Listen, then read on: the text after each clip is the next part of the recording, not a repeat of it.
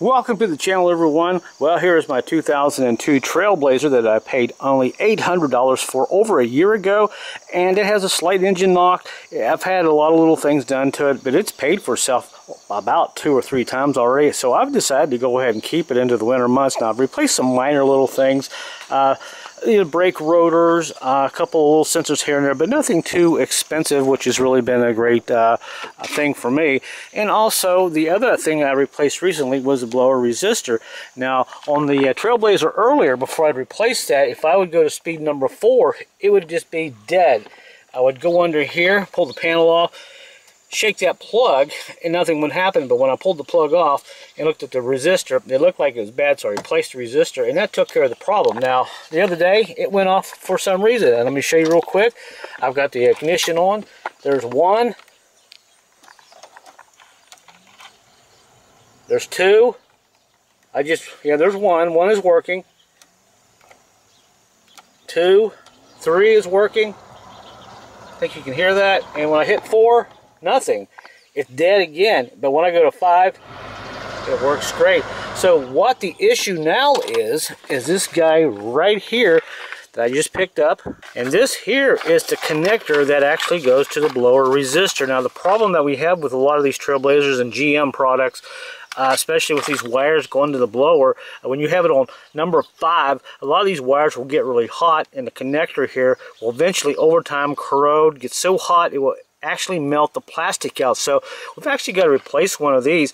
Uh, so what we're going to do here, this one here was only $6 and you get all these connectors. Now you can use the connectors or you can just pull these wires back, clip the one underneath, and just get you some solder, get you some heat shrink, and do it professionally like that. Or you can just do a quick job like that. I am possibly thinking about just going ahead, soldering and using some nice heat shrink to make it look really good. What we have to do now is go up under here and there's a kick panel. We have to take out two little screws. This will allow us to drop this out.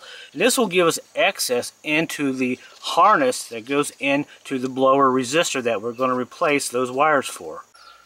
So overall, this should not be a very tough job. Just takes a little patience and time setting up and getting these wires cut and getting all this together. And now before we get into the video, I'd like quickly to thank today's sponsor. It is called the Verasa Portable Vacuum Cleaner. It is a small vacuum cleaner that you can actually keep in your glove box and use it anytime you want.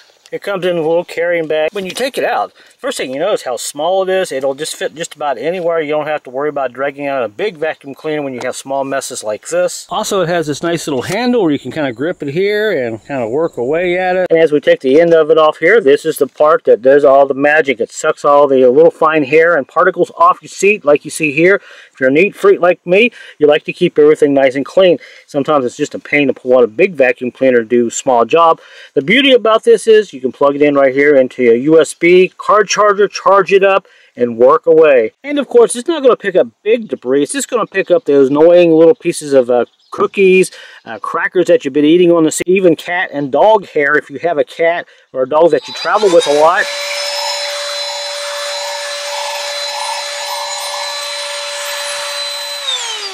And it makes the job really easy. And when you're done, just simply unscrew the top here off this is where all the debris gets. You pull the filter out like this, and you pull this off, and you simply just clean it out. You can blow it out, take a fine brush, and it's reusable, and you're good to go again. A nice little vacuum cleaner for portable jobs when you don't want to go to the car wash and spend two or three dollars. And for charging, like I said earlier, you just plug it into a USB port like that and simply plug it in right here and let it charge up. And when you do that, and you'll see three LED lights and you can see it's charging. We have one blinking and that means it's almost 80% charged. Charges is in about an hour. And real quick, here are all the attachments you get. You get a really long attachments for areas getting down in where you can't really normally get. And you have an extension here with a little brush on it. And you have a cleaner. And of course, the USB-C charging cable.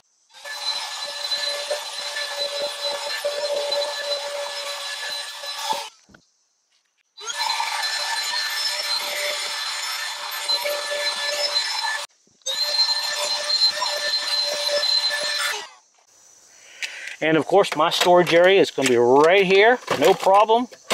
And go on with your life. And once again, thanks for sponsoring this video. All right, guys, thanks for watching. Now, on with the fix here. So we'll get into my junk box here. We'll grab our 7 millimeter uh, little socket. We got a couple screws we got to take off. And, of course, this kick panel has two. It has one over here. At least they made it easy to get this off. And we got one over here on this side. I think you can see that. And uh, this will give us the excess, just about everything under here. The blower, the wires, and all that. Get this out of here. Alright, so let's pop this down. Out that comes. Alright, so we got that off. Let's go up under here, and here is the wire. Right there. And I uh, tell you what, before I pull that out, let's go ahead and turn the key on. Actually, the key is on. Let's go ahead and turn the fan on one, two. Is one working? Yeah, it's working very low, but two's working. Three's working, you can hear it. Let's go to four. Of course, it's dead. And if I hit five, yep, you'll hear it. So let's go on four. Let's go under here. And I think we just shake this wire a little bit. You'll get the idea. Watch this as I shake this plug. See? Let go of it, quit. So it's in this plug and look right there. Yeah, it's melted. Melted in a couple places as my light just went out. So this is what we're going to replace. Let's count the wires here. Of course, these wires are collared and uh, and uh, of course, these are not. So you have to be careful when you hook this up. Make sure you don't get them all mixed up. Do one at a time is the best thing to do and uh, make sure the plugins are the same and uh, they look like they're pretty much the same here. Once I get them kind of set up here we can see. It. all right now let's check it. And see the wire everything looks the same. Yep identical. Actually you can see this one here is plastic. It's completely melted. And this one over here on the right it's melted up in there. And that connector is burnt. But the wires look good. So what we're going to do is one at a time. We'll just uh, start on the right We'll cut it here and we'll cut the, well actually we're not going to cut these, we're just going to pull these back a little bit and add this on and slowly do this over time. Bring out the soldering gun and uh, get some heat shrink put on there and uh, go from there. So I'm to go ahead and actually stick this on there, make sure it fits okay. Alright, yep, fits on there just like it should. So uh, I guess we'll go ahead and put this together. Yep, when you push it up on there, sometimes it'll click, sometimes it won't. There, it clicked that time. Now it's on. So, all right, so let's go ahead and uh, put all this together. Oh, and one other thing, before I forget, I've seen some guys actually pull these wires out of this harness, say this one here, and actually just pull these wires out and put this on there like that. But the problem you get into sometimes, if these connectors are bad, then you still have to cut this off and reuse it and use the new one with the new connector. So there is a little tab right here. If you play around with this long enough, you can get this off, but you risk a chance of breaking this right here.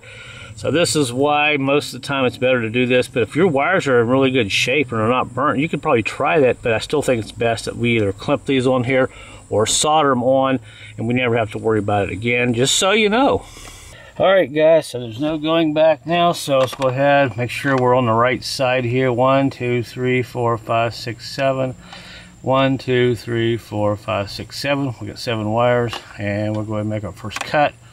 We'll start on this side, and uh, goodbye. All right, so we'll pull this one back, and I've got these guys here. Uh, you can actually get these for about 20 bucks, less than $20. This is a pretty decent quality one and it works pretty good. Mixed stripping wires really just um, a nice job. You don't have to worry about, you know, taking something else and a cheap pair of pliers or something and trying to get it apart. So we'll get this apart here really good. Go back a little ways with it and we'll take our wire here and we'll go ahead and do this one too. Now I noticed the wiring on this is not quite as heavy as the factory one, but it'll still work just fine. If you're not going to have the Trailblazer or your vehicle very long, heck, it, you know, it may last actually a long time, but uh, from what I've found, I usually don't have much of a problem with these uh, uh, breaking or melting. All right, we'll just get a little bit more on this one here. I actually got a move this back a little bit. I need to learn how to work this tool. been a while since I've used it. I forgot how to work it. All right, so we'll go ahead and I'm actually going to make this one just a little bit longer too. All right, and now, like I said, we're going to solder. Before we solder, let's get our piece of heat shrink and put on there. We're just going to slide this together and kind of twist it like that. Put some solder on it, and this is how we're going to do all of them. So uh, let me get my heat shrink before I forget. All right, as you can see, I'm prepared to have a little bit of everything here. Uh, here's my heat shrink. I got this for like $6. I think we'll use the black. I have plenty of those. So we'll just grab a few of these and take go over there and start working. Also, I have this pretty cool little heat gun here for 12 bucks. Uh, works pretty good. We'll use it. You can watch me use it also. All right, so we'll go ahead and put our first piece of heat shrink on there. Slide it up under here. Push it up our little ways. There's actually some tape here. I'm just going to take that tape and kind of wrap it around it so it doesn't fall down in my way. And now we can go ahead and start planning on how we want to do this. Now, I need one of these tools right here. See that? Yeah, I don't know whatever happened to mine. Someone borrowed it and never brought it back. So we're going to have to somehow figure out how to hold this other wire up. I'm actually take a wire here, a clothes hanger, kind of hold that up. So these are connected like this so I can actually solder it. So let's see if we can figure that one out real quick. Oh, actually, I'll just take the rest of my wires and run it through a hole there, let that hang, and now we got this all together right here. Now all I gotta do is go get my soldering gun, put some solder on it. All right, so we're ready to do it. I've got the cheapest uh, soldering gun known to mankind, Walmart $10 job, and uh, hopefully I'll have enough solder here, we'll see, but uh, we'll do what we can, you know, all you can do, right? Take your time, make it work. All right, we got solder there. And we got some on the top. Alright, that looks good. See if I can get some on the bottom there a little bit. Yeah, you gotta have some patience with this. I'm not gonna lie. Yeah, it's just something you gotta take your time at. Alright, so that looks good there. I'm gonna see if I can spin that wire around just a little bit there. And we'll use a little solder on the bottom there real quick. Side here. And I apologize, you probably can't see it all that well, but trust me, it's going. All right. All right, so that's done there. It looks pretty good. Hey, yeah, all right, not bad. I'm happy. All right, so let's go ahead and get our heat shrink pulled down here. And remember, we got to do a bunch more. So let's go ahead and put that like that. And now let's go get our little heat gun. All right, so the heat gun we're going to be using here is something called QST Express Jingling uh, heat tool. Uh, it's a pretty powerful little thing here. It uh, gets up to, how many watts is it? I believe it says, oh, it's right in front of me, 300 watts. It's a 110 volt little uh, tool. And uh, it's pretty simple to use. Even got a little thing here where you can kind of prop it up and just a simple little cord and you get some instructions with it. Anyway, let's go over and use it real quick. All right, so let's plug her in. You can see how loose it is right now. The uh, so there, I think you can sit better that way. You can see how loose that is. So let's go ahead and center that. And Make sure we're right where we want it to be. Turn this on and watch that heat shrink shrink down.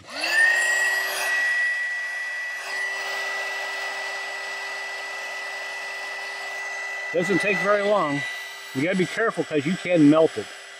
This thing here is pretty powerful.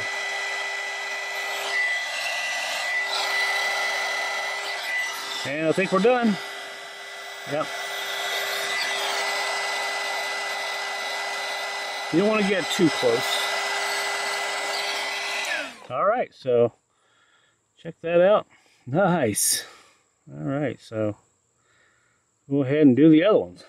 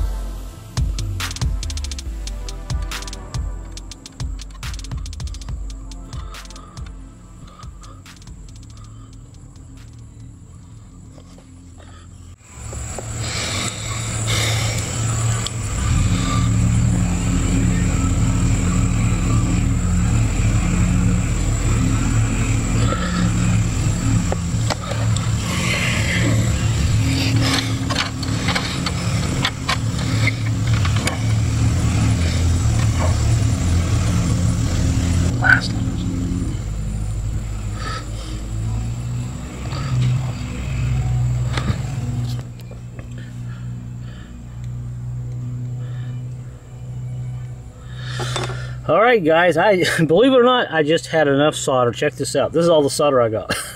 Used quite a bit. So what I did on this, uh, I just took a wire and just kind of hung it up right here to help me hold this a little bit. Now all I gotta do is put my heat shrink on and I think we are done. All we gotta do is go ahead and put everything back together here in a few minutes and see how it's gonna work. All right, we'll go ahead and do our last one here, heat shrink.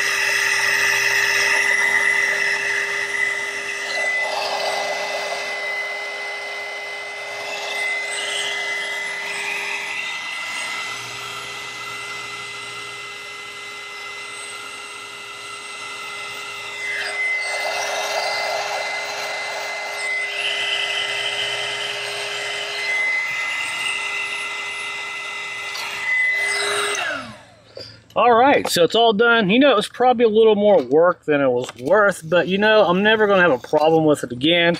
I'll just put some tape around it, electrical tape, and we'll plug it in, and we'll see if all five speeds work like they should now. All right, so we got it plugged in. It's snapped in really good, and I pull on it, it stays up in there.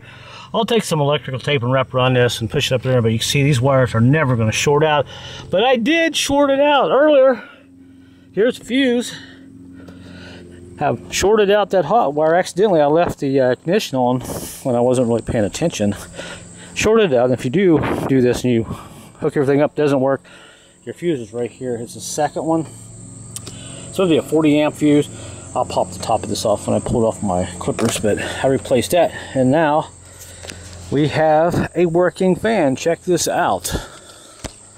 Walk around here real quick. Sorry about the lawnmowers today. Everyone's mowing. Let's crank it up. All right, wait for the dinging the stop. I don't think you're going to be able to hear the fan running, but I'll tell you what we'll do. We'll let the battery charge for a second. Okay, I'm to shut it off. Just leave the key on so you can hear it. All right, so let's hit number one here and see what we got. All right, it works. Number two, working.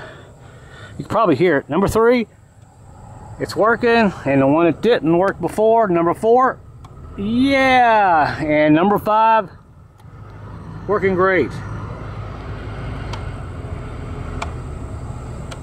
You can probably hear the noise difference. So that took care of the problem, guys. So hopefully uh, this little video will help you guys out if you have this problem. If you want to tackle this, and you can see pretty well shot and if you look closely a couple of those are burnt plastic's melted. So we're never going to have to worry about this again. And that should work for the rest of the year and into the winter months and hopefully uh, this will help you guys out. So if you enjoyed the video guys give it a uh, like and uh, let me know where you're watching from. And until my next video guys I'll see you later